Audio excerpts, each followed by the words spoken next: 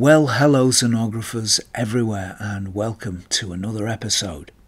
Many vintage lenses have seen significant price rises in recent years, but there's one brand that seems to have bucked this trend, at least to some extent, and they can often be found more cheaply than lenses from other brands. I'm talking about the second series of Canon FD lenses, sometimes called the New FD or NFD series. They're optically excellent with great image quality. They're all readily available, and today we're going to look at four of them three primes and a zoom. Let's begin with the NFD 28mm f2.8. I recently reviewed this lens in a group test of 28mm lenses and I was very impressed indeed with it. Like all the NFD lenses, there's a certain amount of plastic used in its construction, but that's really no handicap, and it does make the lenses feel quite light. Colour rendition from this lens is outstanding. It really makes colours pop. I quite like the saturated look, and this lens certainly has it, and it shares that characteristic with other lenses in the range. It makes big, bright and bold colours with loads of punch. Canon's long been associated with strong colour rendition, and this lens is certainly in that tradition. I like the way it renders black and white too, and the lens seems very well suited to rendering in monochrome, giving strong blacks, whites, and greys with a hint of silver that reminds me a little bit of a high contrast film. As long as there's no direct light source in the frame, it's got great contrast too, giving rich images that are full of body. The minimum focus distance of 30 centimeters means that this lens has a certain amount of versatility, and at that distance, it makes some nice soft background blur that's creamy and dreamy and lovely. As with all wide angle lenses, it falls off quickly with distance, but if you keep the aperture wide open, at moderate distances, it's just enough to soften the background a little bit and focus attention on the subject. I was very pleasantly surprised by the performance of this little lens. It's certainly one of the nicest, if not the nicest, of the 28 mils I've used, and good examples seem to go for around £40 or so, and that's quite a bit less than similar lenses from other manufacturers. The Olympus 28mm f2.8, for example, goes for around 60 to £100. When you consider the quality of the Canon's optics and of the images it makes, that's got to be great value. The 50mm f1.8 is one of the most popular in the FD range and it offers a good balance between cost and quality. It's a light and compact lens, and although there's some plastic used in its construction, it doesn't feel cheap, and its optics are second to none. It's a very sharp lens with strong contrast, and it makes images that are punchy, bright, and full of depth and body. And if you're using it on a digital mirrorless camera, its inherently strong contrast makes focus peaking a breeze. At its maximum aperture of f1.8 it does vignette a little bit, but it's not too excessive. It's about the same as other 50mm 1.8 vintage lenses I've used, or possibly a little better. One area where this lens excels, at least to my eye, is in the way it renders colours. It does it beautifully. Personally, I like colours to have a bit of punch, a bit of sparkle, and this lens certainly comes up with the goods. Saturation is strong, colours are full, they leap right out of the image without too much in the way of subtlety or restraint, and colour rendition in general is very nice indeed. Black and white images are equally strong, punchy and bold, with lots of body and depth, helped by the lens's inherently strong contrast. If you like flares, this lens delivers.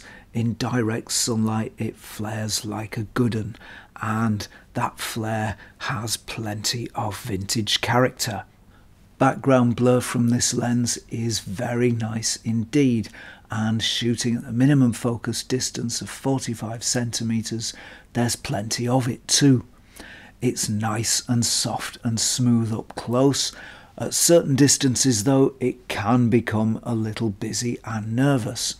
If you keep it wide open, it'll still give you some separation up to around 5 or 6 feet from your subject. All things considered, this is a very nice 50mm, and at 25 to 30 pounds or so, right now, it's an absolute steal. Grab one while you can.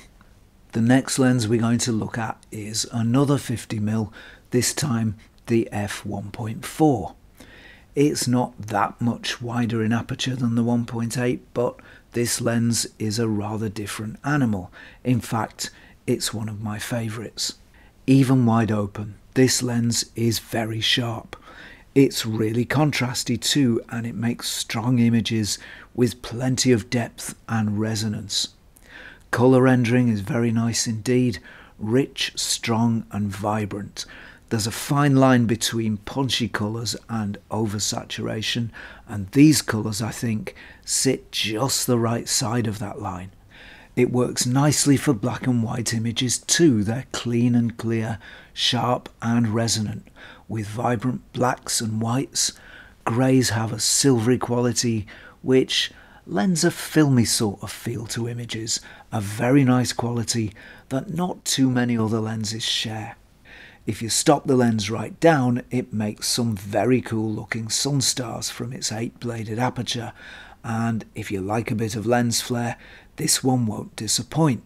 It makes some wonderful flares coloured by the blue coatings, light bounces around inside it, and makes a sort of plume effect, some of the nicest flare I've seen from any lens. Background blur is beautiful, this being an f1.4 lens, shooting close, there's plenty of blur on hand, and the quality of that blur is very nice indeed.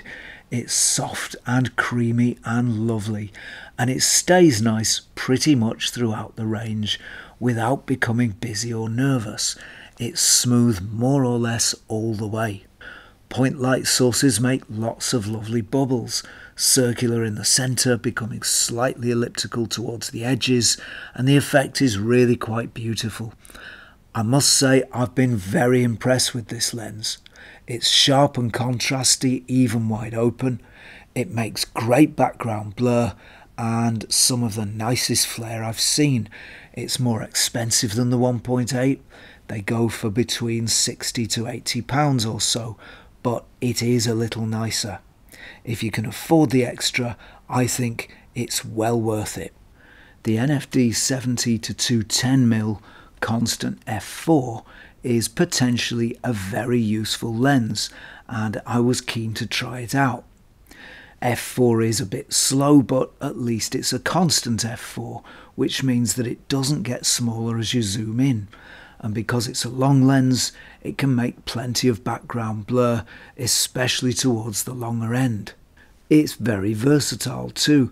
It does away with the need for about 3 primes. So this is a lens that promises a lot, but does it deliver? Well, yes and no. It's a bit of a mixed bag, and while it's good in some areas, it's a bit less good in others. It's not sharpness that lets it down. In fact, this is quite a sharp lens with good contrast, nail focus and it defines subjects very nicely and the amount of fine detail it can render is pretty good. It's on a par with the FD prime lenses. It makes very nice black and white images thanks largely to its good contrast with plenty of depth and richness. Shades of black, white and grey have depth and strength and overall it works really well in black and white. It makes images that have strong contrast, good sharpness, and plenty of body. It works nicely in colour too.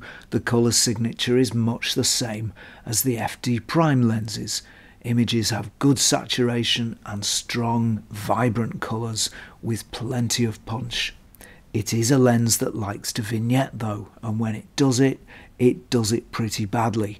It's most noticeable if you're shooting against an area of bright light, like the sky, and it doesn't just happen in the corners but across the top of the frame too. So while I wouldn't say this is a bad lens as such, it's very sharp and makes nice images. It does come with penalties. Size and weight is one. It vignettes quite a lot, especially at the long end, and it is a bit slow at f4. This is a versatile lens. It covers a wide range of focal lengths and at 20 to 30 pounds it's pretty cheap too. As an occasionally used lens, this one would be a good choice, but if you regularly use longer focal lengths, I'd suggest the better choice might be to buy a couple of primes which won't have the same compromises. So there we are four Canon FD lenses, three primes, and a rather versatile zoom. These later FD lenses can sometimes be found a little more cheaply than equivalent lenses from other manufacturers, and there are bargains to be had if you look carefully. Optically, they're some of the nicest lenses I've used, and although there is some plastic used in their bodies, the important engineering parts are all metal. So that's it from me for now. Don't forget to like, subscribe, and ring the bell. And if you like the content on this channel, please consider supporting it on Patreon at patreon.com forward slash zenography. As ever, thanks for watching, and I will see you next time for some more Zenography.